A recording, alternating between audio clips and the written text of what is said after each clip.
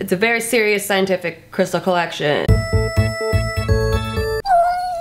Hi, welcome back. Oh my god, we've been putting up so many videos this week. Is this even the Nikki Limo channel anymore? I don't know. Why don't you subscribe, turn on notifications, and find out? So about a month ago, in my Ask Limo video, I said I was gonna show you my crystal collection as a joke because I did not think that you would be interested in it. But a lot of you commented and said you're actually interested in hearing about my crystal collection. And I like you. I think you're good people. So I will show you my crystal collection. Brief background before we get started. I started collecting crystals when I was like maybe three or four years old. I always just thought they were so pretty and I can't believe that they come from our earth. Like what? That's a real thing. Nature makes actual treasure. It blows my mind. Anyway, when I was little, I used to ask for pretty rocks, the tumbled crystal stones. So then I would get them as gifts and presents and stuff. The first crystal I ever owned was a rose quartz crystal, which is the stone of love, but we'll get into that. So I just collected them because I thought they were really pretty. But then about 10 years ago, somebody knew that I collected crystals and they gave me this book called the Crystal Bible. And if you collect crystals, I'm sure you've heard of this book. And it made me even more obsessed because not only does it tell you the source that it comes from, like this particular one comes from the United States, Austria, Czech Republic, Slovakia, but it also goes into metaphysical properties of crystals that I did not know was even a thing. So apparently there are books written about metaphysical properties of crystals and like how they can attract things into your life. And I know that there are a chunk of you that think because I love learning about astrology or numerology or things that are just fun, you think that I worship crystals, which I, good, I hope you do. I, that's way more fun than what I actually feel is that it's just a fun thing to learn about. It's like if you had comic books and they made you happy and you knew each superhero's superpower. I don't think it makes it anti-science to know about their superpowers. It's just something fun that you have in your house. So as I get into this crystal collection, I'm gonna tell you the metaphysical meanings of them, but I want you to know that I'm very pro-science, photosynthesis. I'm a very serious person, takes myself really seriously. It's a very scientific part of my life right here. With that being said, welcome to my magical land of magic rocks that have magic powers. My crystal collection. It's very serious. Before we go in there, it's very, very important that you wear the proper wardrobe. We do not want to offend the crystals. Come in, come in. Okay, but shh, but shh, because it's very, it's very sacred in here. That's why Steve only gets this much of the closet. That's it, because he's not sacred enough. Come closer. Whoa, oh, too close. Okay, wow, we made it in. The crystals seem to be taking to our garments, so that's good. We're gonna talk in a very low voice so as not to disturb them, okay? So shh, shh, Don't worry about that. I needed to cleanse your energy before you entered this field. I think you're good now. Ooh, what do we start with? Wow, so many crystals over here. Okay, this. This is a carnelian crystal. It is a base chakra crystal. It's great for your foundation, not your like, not your makeup foundation, like the foundation of your soul being. It's a stone of confidence, passion, sensuality. This stone is down to DTF stone. If you're missing sex in your life, this is stone for you. Helps you get that dick. Thank you. Next, I mean, shh, next. This is a selenite wand. It's good for cleansing your aura. So if you feel particularly dirty spiritually, this is a spiritual shower for you dirty, dirty souls out there.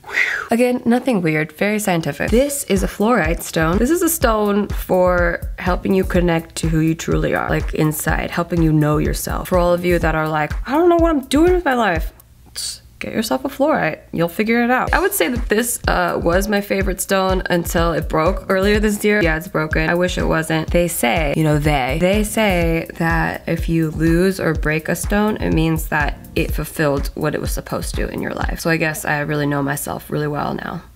So that's tight. This, you might find yourself saying, wow, what an ugly ass crystal. That's not shiny or sparkly at all. No princess would ever like that but you're wrong. I actually, I don't really remember what this is. Let me check my crystal bible. So it is actually a type of selenite, you know, the one that cleansed your aura earlier. You're welcome for that. Desert rose controls emotional outbursts. Oh, that's why I got this stone. I think you're beautiful. This is black tourmaline, okay? Take a good ass look. This is a protector stone. It will protect you for from assholes and make it so that you don't receive their negative energies at you. Like people that judge your crystal collection videos. Do you know what I'm saying? I can't feel it. I don't know what hate you're leaving, but I can't feel it.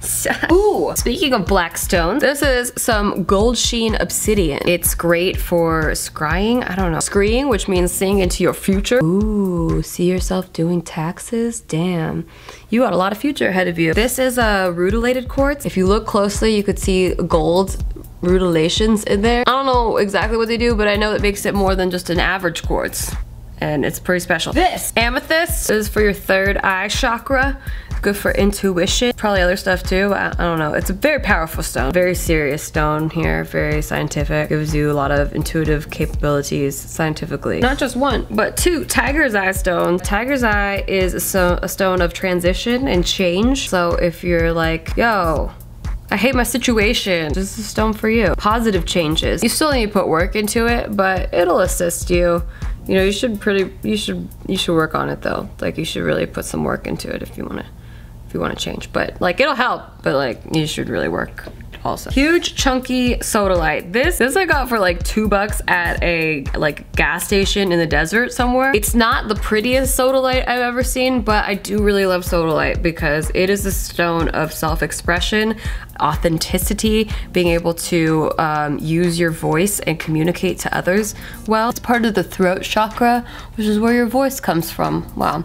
So if you're like, man, I got so much things to say, but I don't know how to say them, that's the stone for you. Or if you're like, whoa, people think that I'm a crazy crystal loving freak.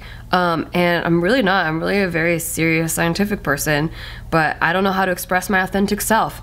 This is the this is the stone for you. I also have some earrings made out of this. Ooh, ooh la la. Whoa, I showed you my smaller amethyst, but I actually have a bigger amethyst. Let's pretend we showed you this one instead. This one's a much more chunky boy. This is the amethyst starter kit. This is like I'm following a little bit of my intuition. This is like, damn, my intuition is so dope. All right, next we got citrine. This is the money stone. People carry it in their purses, their keychains. You can put this in the prosperity corner of your house if you're into feng shui. Also my birthstone now, my birthstone used to be topaz and then they like ran out of topaz. So they're like, you know what guys, we're just gonna give you this other more common stone called citrine. Holla holla make a dollar. If you're like, why am I so broke? Go take your money that you have left over and spend it on a citrine. Watch some money pour in. You could be living like this, but you're playing yourself. This is a blue lace agate. Kind of got the same properties as sodalite. Uh, it's really good for self-expression. If you're in a meeting and you're like, I really want tell the boss this, but I, I don't know how because I'm just a meek little employee. This will help you give you some power. This is also a good stone for artists. It's like for expressing your art. Next, we got some green calcite. Oh shit. There it is right there. There's a picture of it.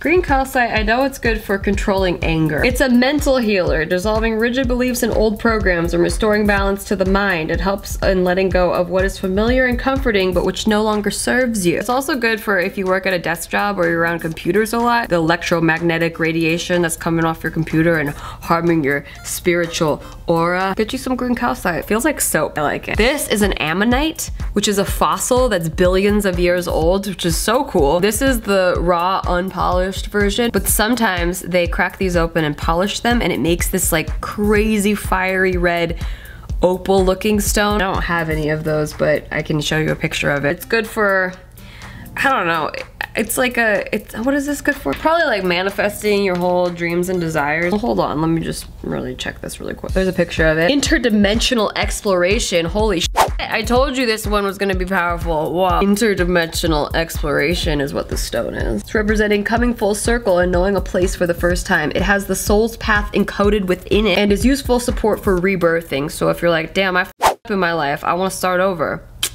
There's a stone for you. How about these? These are fun. This is magnetite. It's what magnets are made out of. It's very science. These stones are really good for grounding. If you meditate with one in each hand, it's like bringing your self together like a magnet. And that makes sense. Sometimes you need um, rocks to bring all your energies together in the center. I don't see anything crazy about that. I should just show you all my calcites. I got pink calcite, I got orange calcite. All of them have different properties. Pink is for attracting love and harmony. This is orange calcite. It's good for creativity. If you have like a creative block or if you have an idea and you don't know how to make it happen, orange calcite it's tight for that. It also just kind of looks like a, like a piece of an orange. I kind of just want to eat it. I kind of just want to eat all of these. Is that weird? Nah, nothing about this video is weird. This, I can't remember what it's called. It just feels really cool. It's really dense and heavy. Um, it's kind of bronzy looking, which is so mid-century modern aesthetic. It reminds me of like a meteor that hit the earth. I really, really like the feeling of it. I think it starts with a P. Hold on. So bad at being a crystal expert. Pumice is a crystal? What? That's crazy. I think it's called this, Pe Pietersite. Fairly recent discovery said to hold the keys to the kingdom of heaven. Damn, I got the keys to heaven right here in my hand. Fight me. Please don't, I don't like to fight. It's said to dispel the illusion of separateness and to remove beliefs and conditioning imposed by other people. Yeah, yeah. Ooh. This is a sunstone. It's, I mean, that's pretty self-explanatory. Has powers of the sun in it. I guess this one did everything it needed to in my life, but this is a Tibetan quartz. I thought it was so cool because it's got like little pieces of black tourmaline inside of it. Like it ate a black tourmaline and now it's digesting it. This is a rose quartz angel, which my mom gave to me. Rose quartz is a stone of love, harmony, compassion, self-love. This is the stone that attracts you a boyfriend. If you would like a boyfriend, this is the stone for you. Or a girlfriend, I don't know how you roll. This is the stone that attracts love. And if you don't believe in magic powers, how do you think I got this? boobs and a sparkling personality? I don't think so. Where are they? See? It was all this. And then I have some various other stones around the house. I have a pyrite stone, which is like a business stone that's on my desk. I have a selenite tower that helps to like clear the air while you sleep. And again, all of this is 100% scientifically backed, so don't come at me. I also was really into jewelry making from the time I was 12 to the time I was 26. And about eight years ago, I was making jewelry with crystals. So I made like, like this necklace. This is a tangerine quartz. I made this necklace out of carnelian, which I talked about earlier, and hematite, which is a grounding stone. This is a smoky quartz necklace. I wore this one for a long time. This one is, this is a kunzite crystal and it's good for self-love. I mean, a lot of them are, a lot of the pink crystals are about love. So like self-love, finding love. Also have some amethyst in there and some rose quartz, again, all about love. This was like a love necklace. And coincidentally, it was the year that I started dating Steve. This everyone thinks is a mood ring. It's not. It's a labradorite crystal, also called black moonstone. A lot of these stones mean the same thing, but it's like knowing yourself, you know, being your authentic self. I think that's, uh, for me, most of these just give me like a reminder throughout the day to to focus on. Just like how my clothing, colors, I just need like constant reminders because I tend to get stressed out a lot and sometimes it's nice to look down and at your labradorite ring and be like, you know what?